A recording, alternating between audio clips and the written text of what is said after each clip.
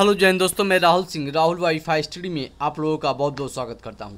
आज 10 सितंबर 2020 है और 10 सितंबर 2020 से प्रतियोगी परीक्षाओं के दृष्टिकोण से जो महत्वपूर्ण खबरें हैं, वो लेकर के लिए, लेकर के मैं आपके लिए आ चुका हूँ। जी हाँ बात किया जाएगा यूपी ट्रिपल एस यानी उत्तर प्रदेश सोया आयोग के संबंध में। और आयोग का अगला रिज़ल्ट इस भर्ती का हो सकता है, अक्टूबर के तीसरे सप्ताह में आयोग आयोजित करा सकता है परीक्षाएँ। और इस भर्ती को लेकर के उत्तर प्रदेश अधीनस्थ सेवा चयन आयोग का हाईकोर्ट का हस्तक्षेप से इनकार। और उत्तर प्रदेश लोक सेवा आयोग के साथ साथ डीएलएल परीक्षा का रिज़ल्ट के संबंध में जानकारी दी जाएगी, क्या प्रक्रियाएँ हुई हैं और 21 तारीख से, यानी 21 सितंबर से जो आपके स्कूल कॉलेज उत्तर प्रदेश खुलने वाले थे, अन अपॉइंटमेंट कहा जा सकता है, वो अब नहीं खुलेंगे। क्योंकि उत्तर प्रदेश में संक्रमण की रफ्तार जो है कोविड नाइन्टीन की, वो तेज़ी से बढ़ रही है और इसको ध्यान में रखते हुए सरकार ने महत्वपूर्ण जो है निर्णय लिया है। हम आगे बढ़ेंगे खबरों में वन बाई वन सभी खबरों पर प्रकाश डालेंगे। लेकिन उससे पहले चैनल पर अगर आप पहली बार विज़िट किए हैं तो चैनल को ज़रूर सब्सक्राइब कर लें, साथ में बेल आइकॉन की घंटी प्रेस कर लें। चलिए अब देखते हैं one by one every news पर खबरें यहाँ से पूरी विस्तार से लेते हैं। आगे बात करेंगे उत्तर प्रदेश अधीनस्थ सेवा चयन आयोग के संबंध में। जैसा कि आप लोगों को पता होगा, उत्तर प्रदेश अधीनस्थ सेवा चयन आयोग ने कल एक महत्वपूर्ण रिज़ल्ट यानी उत्तर प्रदेश अधीनस्थ सेवा चयन विज्ञापन संख्या सत्ताईस परीक्षा दो हज़ार सोलह स्टोनोग्राफर का स्किल टेस्ट का रिज़ल्ट जारी कर दिया है। जैसा कि आप लोगों को लगातार इस भर्ती के में कमेंट भी आया था कि कब तक रिज़ल्ट जारी किया जाएगा और पिछले एक महीने से इसके में केवल आश्वासन मिलता रहा था और ये संभावना दी जाती है लेकिन अंततः कल इसका final result sorry skill test result घोषित कर दिया गया है और 705 बच्चों को इंटरव्यू के लिए कॉल किया गया है। तो ऑलमोस्ट तीन पदों के लिए 705 बच्चों को जो कॉल किया गया है इंटरव्यू के लिए। और बात किया जाए तो एक सीट के लिए अब दो दो दो कैंडिडेट की दावेदारी होगी, है ना? तो महत्वपूर्ण चीज़ है, आप अपनी जो है, अच्छे से इंटरव्यू बनाए रखिए, क्योंकि इसमें से तीन सौ बावन बच्चे ही सिलेक्ट किए जाएँगे और बाकी रिजेक्ट होंगे, यानी असफल होंगे। इस चीज़ को आप लोगों को स्वीकार करना पड़ेगा। तो आप लोग इंटरव्यू की तैयारियाँ शुरू कर दीजिए, और जो भी इंटरव्यू की चीज़ें होती हैं उत्तर प्रदेश अधीनस्थ सेवा चयनों में विशेष तौर पर उन सब चीज़ों को जो है ध्यान से देखिए। और हमारी कोशिश रहेगी कि जूनियर असिस्टेंट जो इंटरव्यू आपकी पंद्रह सितंबर से स्टार्ट हो रही है, जो आप दस तारीख है, और मैं वहाँ से जूनियर असिस्टेंट इंटरव्यू के सामने जो भी इन्फॉर्मेशन मिलेगी, मैं आपको बताऊँगा कि किस प्रकार से लोगों को वहाँ पर अटेंड किया जा रहा है और कैसे कैसे आपसे क्वेश्चन पूछे जा रहे हैं। इन सब चीज़ों के बारे में हम इंटरव्यू के संबंध में आपको देंगे इन्फॉर्मेशन।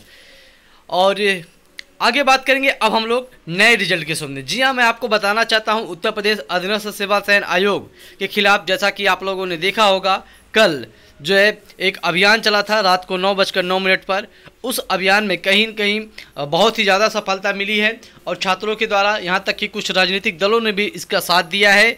मैं राजनीतिक दलों को कोई इसको लेकर के चर्चा में नहीं लाना चाहता हूँ क्योंकि राजनीतिक दल के बारे में कुछ कह पाना जो है ठीक नहीं होता है। सब एक ही चट्टे बट्टे की कहानी है एक ही सिक्के के सब पहलू हैं। कोई भी पार्टी हो जी हाँ कोई भी पार्टी हो सब उसी तरीके से हैं कि छात्रों के साथ सब अपने अपने समय पर छलावा करते हैं। ये तो कहने की बात है कि ये होते तो, तो ये होता ये होते तो ये होता। है ना?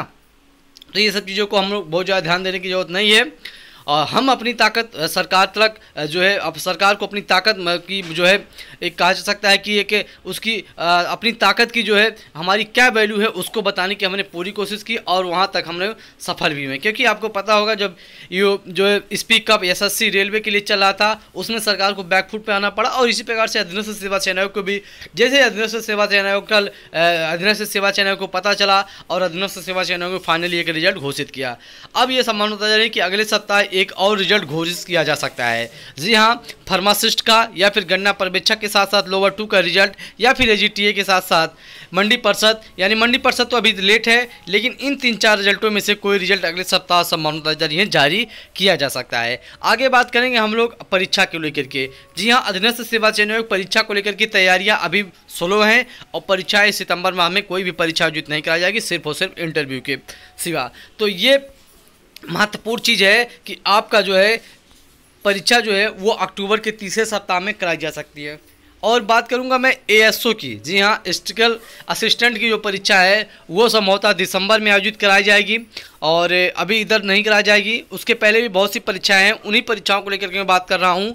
वो परीक्षाएँ अक्टूबर माह के तीसरे सप्ताह में कराई जाने की संभावनाएँ जताई जा रही हैं। चलिए, आगे बढ़ते खबरों में यहाँ से।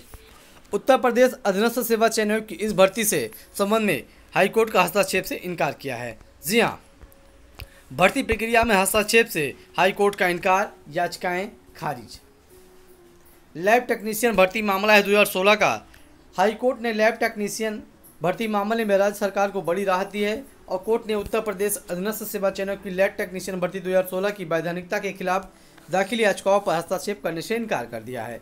कोर्ट ने कहा कि चयन प्रक्रिया में कोई भी अवैधानिकता नहीं है। और कोर्ट के आदेशानुसार नियमों का पालन करते हुए चयन किया गया है और कोर्ट ने इस मामले में दाखिल दर्जनों याचिकाएँ खारिज कर दी है और यह आदेश न्यायमूर्ति सौरभ श्याम शमशेरी ने नामित पांडे व दर्जनों अन्य की याचिकाओं पर दिया है।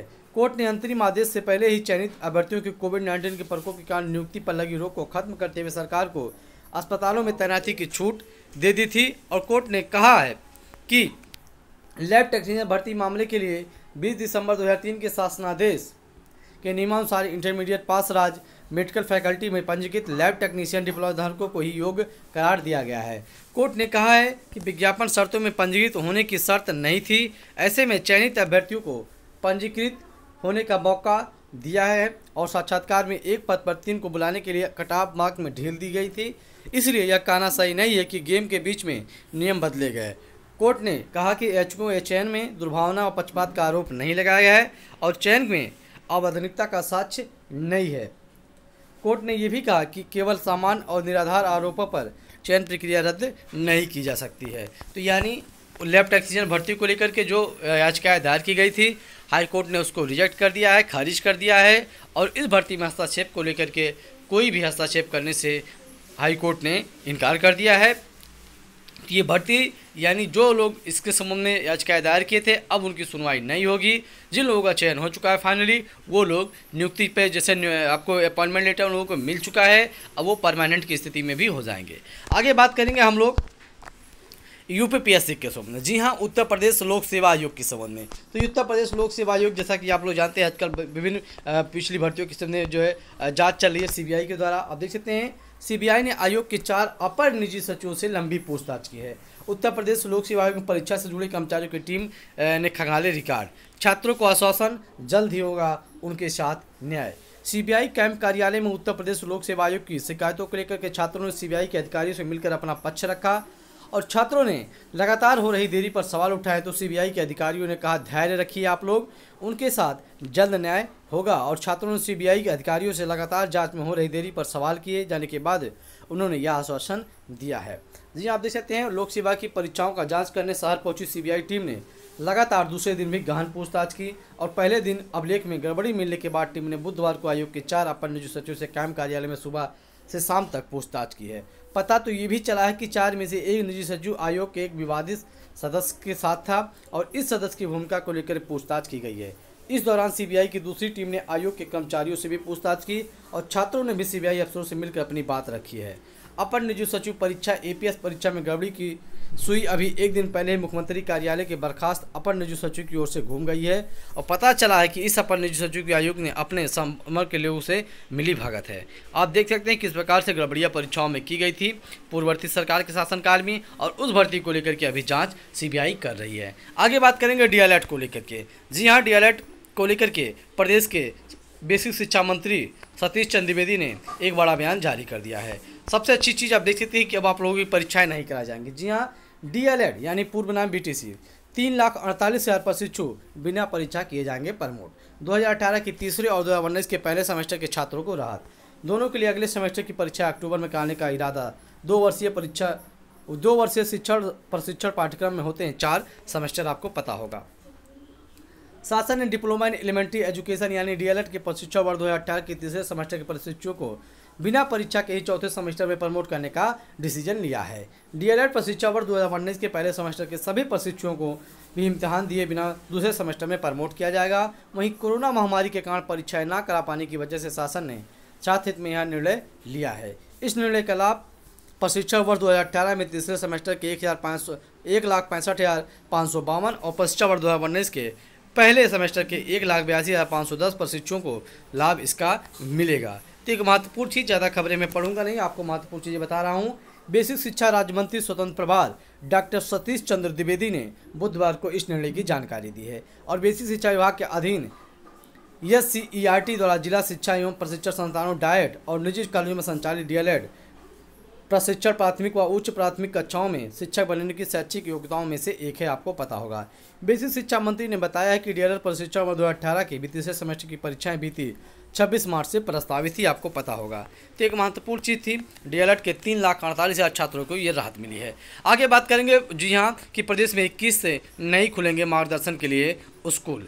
प्रदेश में लगातार बढ़ते कोरोना संक्रमण के मद्देनजर 21 सितंबर से माध्यमिक विद्यालय नहीं खोले जाएँगे। सितंबर के बाद कोरोना संक्रमण की स्थिति का जायजा लेने के बाद ही स्कूल खोलने का फैसला लिया जाएगा। अनलॉक फोर के तहत 21 सितंबर से कंटेनमेंट जोन को छोड़कर बारी बाकी सभी क्षेत्रों में कक्षा नौ से बारह तक के विद्यार्थियों को मार्गदर्शन के लिए बुलाने की अनुमति दी गई थी। है ना? तो ये चीज़ें आज कुछ महत्वपूर्ण चीज़ थी, जो अब तक Rahul Y five T channel के माध्यम से पहुंचाई गई हैं। आई होप अगर आप एक आप पर कंपटीटर हैं तो आपको ये सभी खबरें अच्छी लगी होंगी। तो प्लीज़ आप लोग वीडियो को लाइक कर दीजिएगा और इस वीडियो को शेयर भी कर दीजिएगा। है ना? मिलते हैं हम नेक्स्ट वीडियो में, नेक्स्ट इन्फॉर्मेशन के साथ। तब तक के लिए धन्यवाद, नमस्कार।